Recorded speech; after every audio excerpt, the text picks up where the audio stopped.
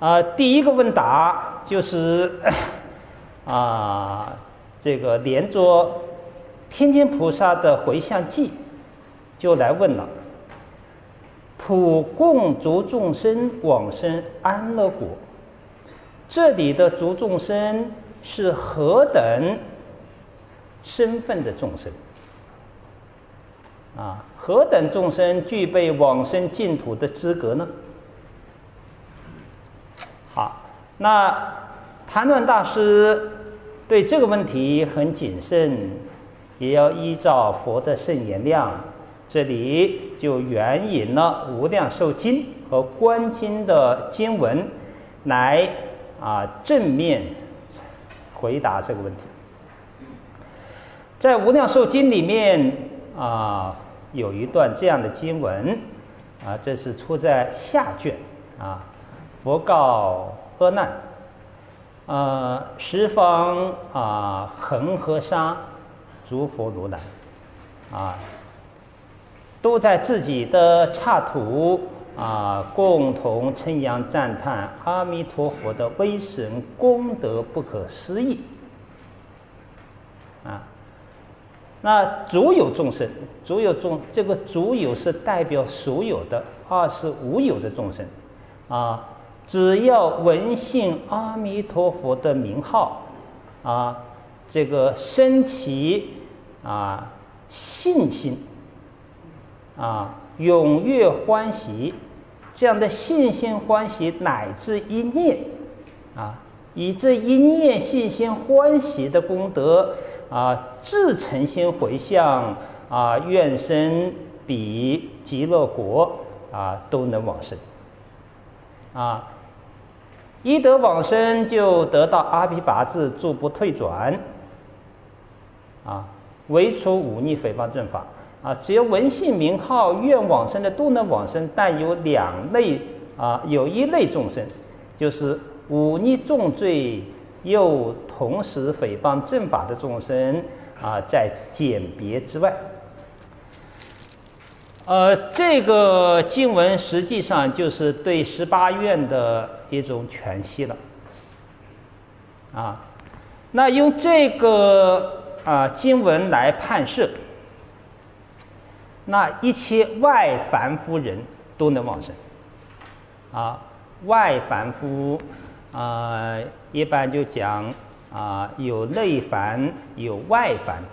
外就是使心还在外面啊，求法性离体啊，这个 不能切入到无相啊，不能证到理啊，内心的啊那种佛性啊，这是外。凡夫人就是还在轮回里面分段生死，叫凡夫。呃，所以外凡夫人啊，在小乘法外凡成为啊四念处啊，无论总相啊别相四念处这个水平，五庭星官啊，在大乘法里面谈到性位啊，还属于性位的啊行人，叫外凡夫人。这个外凡夫人都能往生，我们啊在座的诸位，我们也就属于外凡夫人了啊，也就是说，我们也都有份啊。第二个原因观经，尤其是下品下生章啊，这个 做不善业，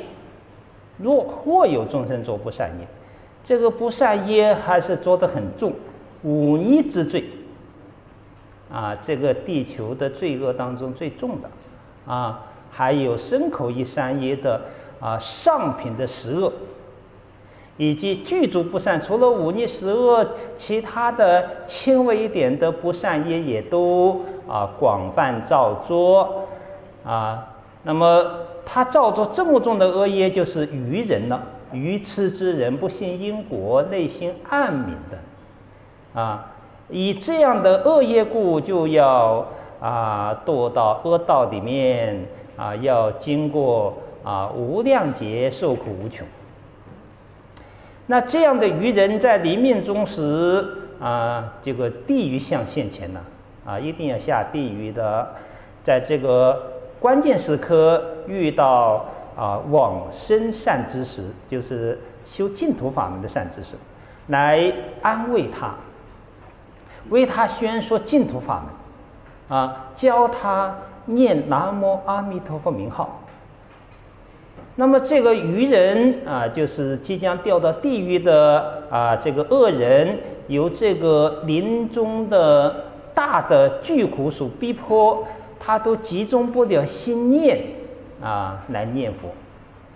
这个善友就告诉他啊，如果你不能啊这个心念的话，那你就口称啊南无阿弥陀佛，用声音来示。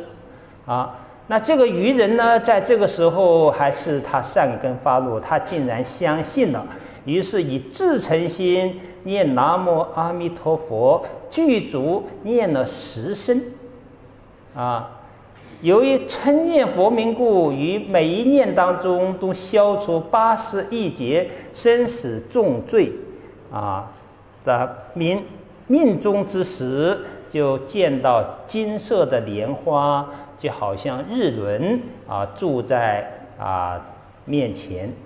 啊心生欢喜，如意念情啊，这个就往生到极乐世界啊。由于他造作的恶业很重，下品下生要在莲花里面啊滞留十二大劫啊，莲花才开复啊。那么十二大劫里面，由此来消他的忤逆重罪了。呃，从莲台出来之后，观世音菩萨、大势菩萨就来到他身边，以大悲音声。大悲音声就是这个愚人愚痴颠倒，造作的恶业很重，引发两位菩萨的大悲心啊，就为他广说诸法实相，除灭罪法啊，先解决他的重业的问题，用实相啊忏法来灭他的罪孽。啊，这个往生者闻到这样的啊实相法，升起大欢喜之心，应时就当下就发起菩提之心。这个应时即发菩提之心，这就说明啊，这个下品下生的众生不是在此土发菩提心，是在彼土啊，在极乐彼土发菩提心的。啊，这就是下品下生章这一章表达的那种啊众生的极恶之机和阿弥陀佛自己的悲心和威神愿力都达到了登峰造极了啊。好，以这个观经来证明啊，这个下品啊往生的凡夫，只要他不诽谤正法。仅仅就以信阿弥陀佛的个因缘，只要信佛念佛都能往生。啊，这样看来啊，往生的啊身份资格就是普遍到一切众生了，乃至于忤逆十恶的罪人都能往生了。啊，只要他啊有信愿称名。